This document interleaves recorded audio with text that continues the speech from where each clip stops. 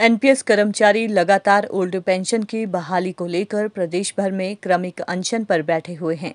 इस बीच में कांग्रेस नेताओं का कर्मचारियों को समर्थन मिल रहा है। इसी कड़ी में आज शिमला में कांग्रेस विधायक और महासचिव विक्रमादित्य सिंह कर्मचारियों के साथ अनशन पर बैठे और सत्ता में आने पर ओल्ड पेंशन योजना को लागू करने का दावा किया। विक्रमादित्य सिंह ने कहा कि प्रदेश की जयराम सरकार कर्मचारियों के प्रति उदासीन रवैया अपनाए हुए हैं। मुख्यमंत्री अगर फिजूल खर्ची कम करेंगे तो कर्मचारियों को ओल्ड पेंशन दी जा सकती है। कांग्रेस पार्टी ने भी सभी आर्थिक विशेषज्ञों से विचार विमर्श करने के बाद ओल्ड पेंशन को लागू करने का निर्णय लिया है।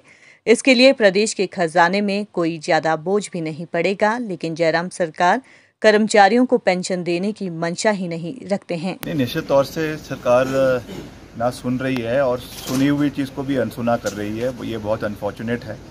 और समय समय पर जो है ये एनपीएस के जो कर्मचारी हैं, ये उनसे मिल रहे हैं, मुख्यमंत्री जी से मिल रहे हैं, उनसे गुहार लगा रहे हैं, मगर कोई भी इस पे बात जो है मुख्यमंत्री जी ना विधानसभा के अंदर करते हैं, ना बाहर करते हैं।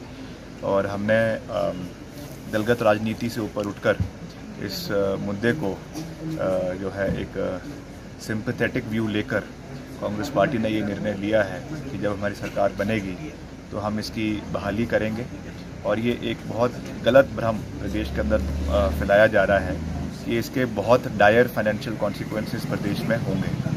मैं समझता हूँ कि जहाँ पर जो मुख्यमंत्री और सरकार जो जो फजूल खर्चियाँ और चीज़ों के ऊपर कर रही हैं, वहाँ पे जो हमारे कर्मचारी है, जो अपनी सेवाएँ दे रहे हैं, अगर उनके भविष्य को सुरक्षित करने के लिए अगर थोड़ा बजटरी एलोकेशन करना भी पड़े तो उसमें कोई जो है दो राय नहीं होनी चाहिए और उस चीज़ को करना चाहिए।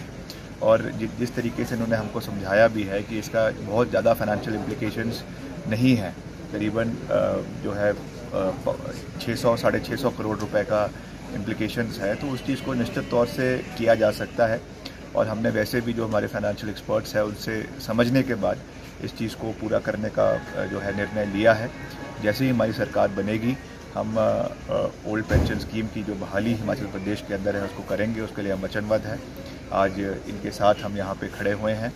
कांग्रेस पार्टी के सभी लोग इनके साथ खड़े हैं। ये कोई पार्टीबाजी की बात नहीं है, कोई राजनीति की बात नहीं है, मगर जो इनका हक है, वो इनको मिलना चाहिए और इसीलिए आज हम यहाँ पे इनके साथ खड़े हैं।